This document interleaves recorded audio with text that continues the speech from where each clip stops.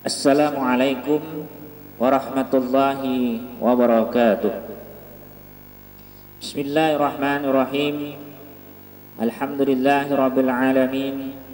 Assalatu wassalamu ala asyrafil anbiya'i wal mursalin. Sayyidina wa maulana Muhammadin wa ala alihi wa sahbihi wa barik wa salim ajma'in. Amma ba'd. Disyukur kepada Allah atas limpahan rahmat dan karunia-Nya. Kita bersama-sama telah selesai melaksanakan salat fardu zuhur pada hari ini. Salawat dan salam selalu kita curahkan kepada junjungan kita Nabi besar Muhammad sallallahu alaihi wasallam beserta keluarga, sahabat pengikut beliau ila yaumil qiyamah. Hadirin kaum muslimin dan muslimat jamaah Masjid Raya Sabilal Muqtadin. Pada hari ini kita sudah memasuki hari ke-6 Ramadan. Mudah-mudahan Ramadan yang sudah kita lalui adalah Ramadan yang selalu mendapatkan rahmat dan ampunan dari Allah Subhanahu wa taala. Puasa Ramadan yang diwajibkan kepada kita sebagai orang yang beriman adalah sebagai manifestasi untuk menyampaikan ketakwaan.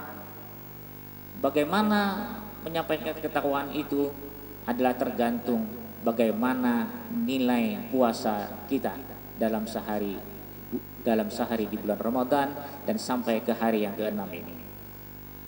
Dalam kehidupan ini tentunya kita sebagai manusia selalu ingin berbuat baik dan mencari yang terbaik sesama manusia dalam perbuatan kita. Rasulullah Shallallahu Alaihi Wasallam mengumpamakan orang beriman itu seperti nahlah yang mempunyai arti lebah. Mengapa demikian? Dalam sebuah hadis Rasulullah menyatakan masalul mu'mini mislun nahlati la ta'kulu ila tayyibah wa la ta'du ila tayyibah in waqa'at ala uddin nakhrin lam taksirhu Seorang mukmin itu seperti lebah. Lebah tidaklah makan kecuali makan yang baik. Dan kalau memberi, ia selalu memberi yang baik. Jika ia hinggap di ranting yang lapuk sekalipun, ia tidak pernah akan mematahkannya. Perumpamaan Rasulullah orang yang beriman itu seperti nahlah atau lebah. Dalam penjelasan ini, yang pertama, adalah disebutkan la ta'kulu ila thayyibah. Lebah itu tidak makan kecuali yang baik. Yang dimakannya adalah sari-sari bunga yang baik dan yang manis. Diumpamakan kita sebagai seorang muslim, kita harus memakan yang baik, halalan thayyibah. Itu lebah selalu makannya yang baik. Tidak ada lebah yang tidak makan tidak baik. Nah kita pun sebagai seorang beriman di momen Rasulullah cari yang baik. Ada tiga kategori kategori yang baik ini halal dan thayyibah. Yang pertama yang dimakan itu bendanya adalah halal. Jelas halal. Kalau produk produksinya dikemas, maka kita lihat produk yang berlabel halal MUI misalnya melalui LPP POM MUI jelas salah satu. Yang kedua, makanan itu didapat dari proses yang halal. Artinya kita mendapatkan barang itu halal karena jual beli misalnya atau diberi seseorang makanan. Yang ketiga adalah proses mendapatkannya. Apakah harta yang kita belikan kepada makanan itu halal yang didapat? Nah itu yang halalan thayyibah. Bisa saja contohnya misalnya pisang goreng. Kita makan pisang goreng di warung, jelas pisang goreng produk si Acil ini adalah halal. Tetapi karena kita makan di warung, makan wadah lima, lalu bapak dah dua, nah maka pisang goreng yang dimakan tiga itu menjadi kada halal. Karena dusta. Padahal pisang gorengnya halal. Cil ulun teh secangkir, wadai dua padahal lima masuk. Pisang gorengnya halal tetapi yang tiga yang kali dibayar tadi menjadi tidak halal. Atau sebaliknya kita makan pisang goreng atau kita berbuka puasa nukar bingka. Buka puasa bingka hari ini bingkanya halal. Nang menjual mahaji produksinya dari kentang. Tetapi waktu sholat zuhur ada kawan ketiduran dompet kawan hilang. Nih, hati-hati yang tidur di masjid. Makanya dianjurkan oleh pengurus masjid jangan tidur di dalam ruang induk masjid kalau hendak tidur di luarnya masjidnya. Supaya barasih masjid apalagi nang nang beliuran nah mohon maaf. Ya nang beliuran karena ada laporan pas satpam ulun lapor kenapa ulun kehilangan dompet di mana? Di masjid. Masa di masjid ternyata kenapa jadi hilang? HP hilang dompet hilang. Eh ternyata guring. Nah hati-hati guring di luar. Nah kawan mengambil dompet lalu nukar bingka.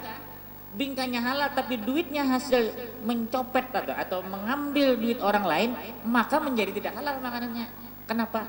Hasilnya kadah halal yang ketiga tadi bentuk makanannya memang tidak halal haram. Misalnya makanan babi misalnya atau makan minuman minuman keras. Itu kada halal. Jangankan untuk berbuka puasa kada berbuka puasa yang haram dimakan. Itulah ta'kulu ila thayyibah jadi lebah selalu makan yang baik-baik. Orang yang beriman seperti itu. Yang kedua, lebah disebutkan pula diumpamakan wala ta'du ila thayyibah. Ia tidak akan memberi kecuali yang baik. Lebah tidak akan memberi kecuali yang baik. Apa lebah yang diberikannya kepada umat manusia? Yaitu madu. Madu itu sebagai obat dan nyaman dimakan, manis. Manis kalau madu itu pahit memang produksinya madu manis, madu pahit. Nah, kalau madu yang lainnya, ah itu lain pulang pemadu tengarannya. Pemadu tuh takutnya abahnya aja. Itu bisa pahit, bisa manis. Nah, itu pemadu. Ulun pak aja. Tahu madu asli ya. Apa cirinya? Madu asli itu bila dibawa ke rumah bini sangit. Nah, itu itu pemadu Nah itu contoh yang aja madu asli itu dibawa ke rumah bini sangit nah itu pemadu ngarannya. Dah. Jadi wala ta'dau ila thayyibah memberikan madu. Kita sebagai orang beriman ya Rasulullah jadikanlah manusia yang selalu memberikan yang terbaik. Khairunas anfa'ahum linnas. Sebaik-baik manusia adalah yang bermanfaat bagi orang lain.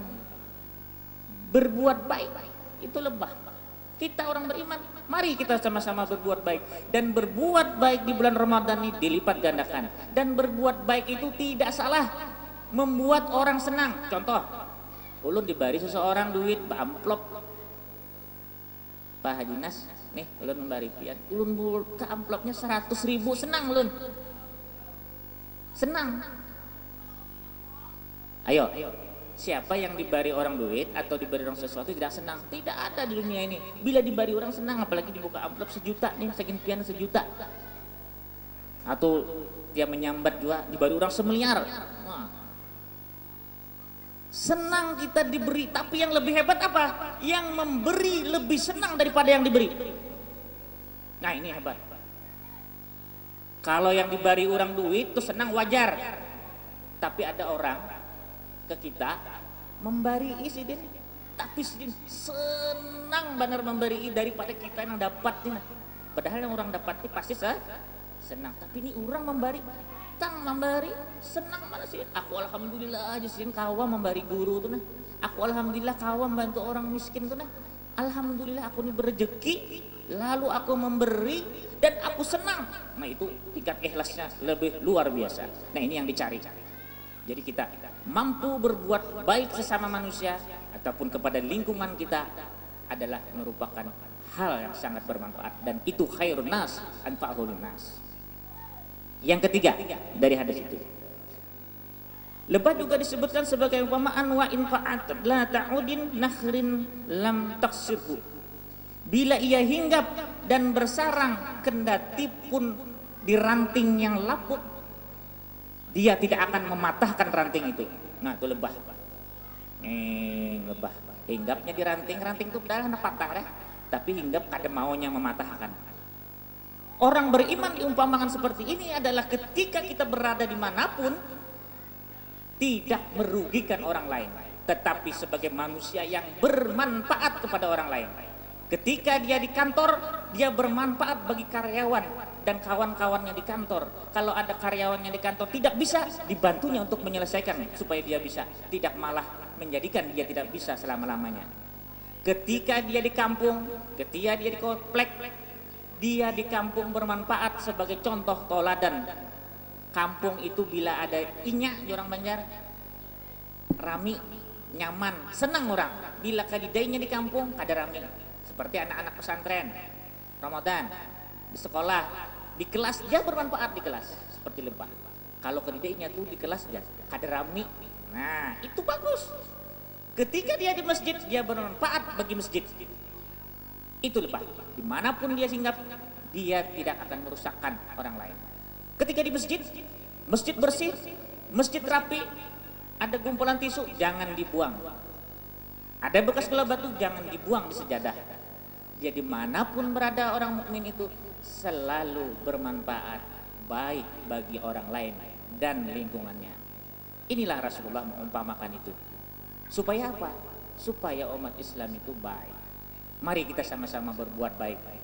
Dalam kita makan, dalam kita berbuat, dalam kita di mana pun tempat tinggal kita. Mudah-mudahan bulan Ramadan ini, puasa kita ini merupakan karakter nilai-nilai puasa kita yang membuat kita menjadi orang yang bertakwa, yang disenangi oleh Allah dan mudahan kita masuk surga sebertaan. Amin ya rabbal alamin. Demikian kultum duhur ini minta halal, minta ridha apa yang ulun sampaikan ini ada salah. Billahi taufik wa hidayah. Assalamualaikum warahmatullahi wabarakatuh. Al-Fatihah. A'udzu billahi minasyaitonir rajim. Bismillahirrahmanirrahim. Alamin. Ar-Rahmanir Rahim.